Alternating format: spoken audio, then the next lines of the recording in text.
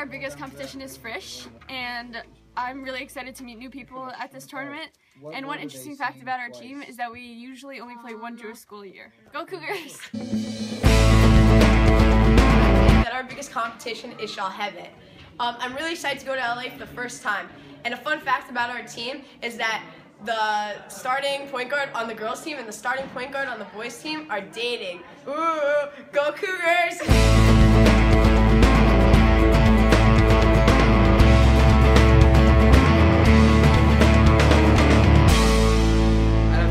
Team that I'm most nervous to face, excited to face is Shalhevet. They're going to be playing at home. Outside of basketball, the thing I'm most excited about in LA um, is probably getting to meet the other players.